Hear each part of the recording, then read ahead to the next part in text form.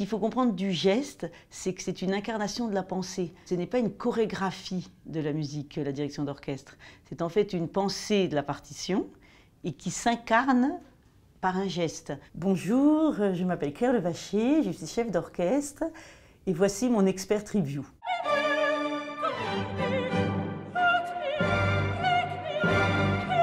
Là, on voit bien sûr Mozart, euh, qui est le paradigme du compositeur et qui dirigeait ce qu'il avait écrit. Le compositeur est en effet à la source en fait euh, de, la direction d'orchestre, puisque c'est la, c'est la composition, la partition qui est l'essence même de notre métier. C'est la source, c'est l'élément fondateur, c'est 80% de notre métier. Tout opéra où il y a de la scène, où, il y a des chanteurs, où il y a des décors, euh, euh fait partie euh, en fait de notre métier, fait partie intégrante. Donc en effet, un compositeur comme Mozart qui a écrit un opéra, il écrit à partir d'un texte et puis ensuite il le met en musique pour les chanteurs et l'orchestre accompagne, mais plus qu'accompagne. En fait, euh, c'est un tout, c'est un tout et le chef d'orchestre doit en effet guider ce tout et une énergie motrice en fait qui est telle qu'elle peut paraître de l'extérieur euh, soit caricaturale, soit saccadée. Mais en fait, c'est vrai qu'on a besoin, nous, d'impulser de, un groupe. Et pour ça, ça demande énormément d'énergie, d'autant que nous n'avons que ce geste hein, comme, moyen de communication.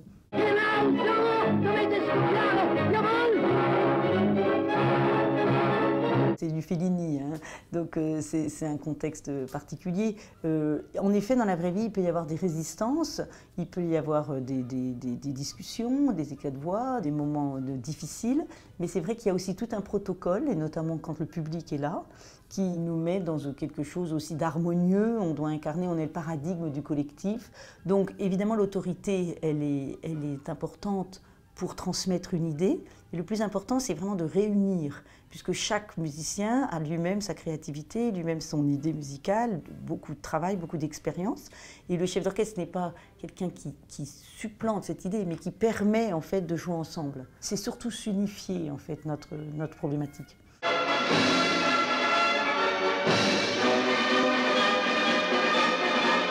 Bon, bien sûr, Funès c'est toujours un peu une caricature et c'est surtout lui-même. Ce qu'il faut comprendre du geste, c'est que c'est une incarnation de la pensée. Ce n'est pas une chorégraphie de la musique, la direction d'orchestre. C'est en fait une pensée de la partition et qui s'incarne par un geste. Et donc le geste lui-même est très individuel. S'il faut comparer tous les chefs d'orchestre, euh, vous verrez qu'ils ont, on ne peut pas cloner ce geste, on ne peut pas l'imiter. Il y a une imagination sonore et en fait le geste est un moyen de transmettre.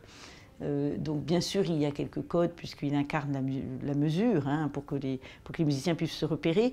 Mais le plus important, c'est ce qu'il transmet de la partition. La baguette, c'est le prolongement du bras, en fait. Donc au départ, c'est aussi pour la lisibilité. Quand vous avez un opéra, quand vous avez des chœurs, quand vous êtes en plein air. Euh. Après, la baguette n'est pas obligatoire.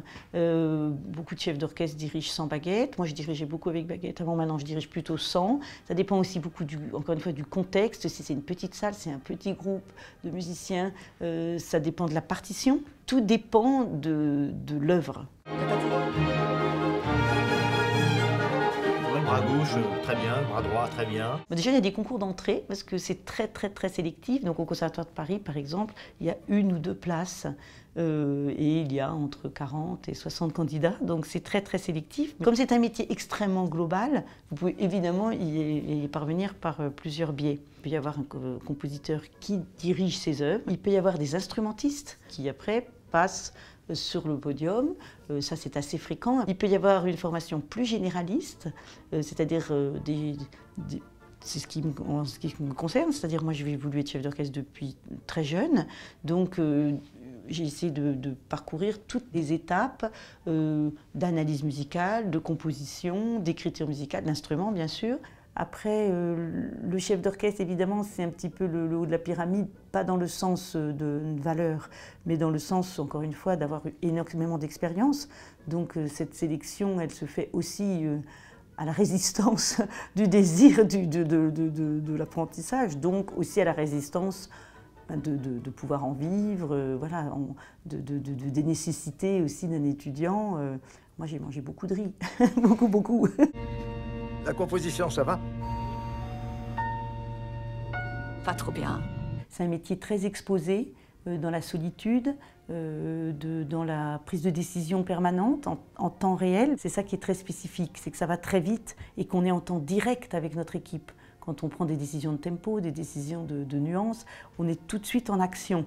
Donc ça, ça, demande en effet une certaine un certain calme, une certaine maîtrise, une certaine distance, un certain équilibre, je dirais. Il faut garder un certain sang-froid, il faut aussi savoir relativiser, il faut aussi savoir euh, se détendre parce que c'est un métier très physique. Euh, donc ça demande beaucoup de, discipline. La représentation fictive métier, elle a souvent été donnée, comme euh, on a vu de Funès, on a vu, et donc elle est visuelle, c'est-à-dire la fiction, surtout au cinéma, elle va s'attacher aux gestes, à la caricature. Et notre métier, en fait, c'est pas du tout ça. C'est-à-dire notre métier, c'est pas le visuel. Moi, je dis toujours que c'est un métier invisible. Il faudrait filmer notre pensée, en fait. Et ça, évidemment, c'est peut-être ce qui est difficile. Mon quotidien, c'est d'étudier des partitions. Donc, euh, c'est de, comprendre la musique, c'est un répertoire, c'est vraiment une technicité. Et donc, euh, l'image, euh, l'anecdotique, si vous voulez, qui peut évidemment me distraire. Hein, euh, est très loin de notre réalité en fait. Oui. C'est passé quelque chose d'extraordinaire. On me propose la Scala. Mais non. Non mais c'est génial ça. Ce qu'on voit aussi dans ce film, c'est le, c'est qu'il va, euh, il veut être nommé à la Scala, donc ces endroits mythiques, alors qu'ils sont des salles avant tout, des salles gérées, des salles magnifiques acoustiquement. Et donc ça pour nous évidemment c'est très important, c'est-à-dire que ça, ça fait partie de notre instrument. Euh, c'est si la salle est magnifique dans le sens acoustique et aussi visuel, Évidemment, on a, on a, on a, c'est un énorme atout pour notre son, pour notre travail. Donc tout ça, pour nous, ce sont des, des, des buts, des aspirations. C'est la Scala. Denis, c'est ton rêve? J'ai pas l'expérience de mon père. On est toujours, encore une fois, honoré. C'est quand même euh, très particulier que tout un groupe, toute une salle, toute une institution vous permettent de, réaliser une interprétation. C'est quand même à chaque fois un cadeau. Mais pratiquement tous les orchestres en fait, que l'on dirige, quel que soit leur niveau, quel que soit leur c'est toujours un cadeau et un honneur et une joie de, pouvoir finalement euh, transmettre une idée et qu'un groupe humain euh, ben, essaye de, la réaliser ensemble. C'est quand même euh, toujours un Graal. C'était Claire Levacher, chef d'orchestre, pour mon expert review pour Vanity Fair.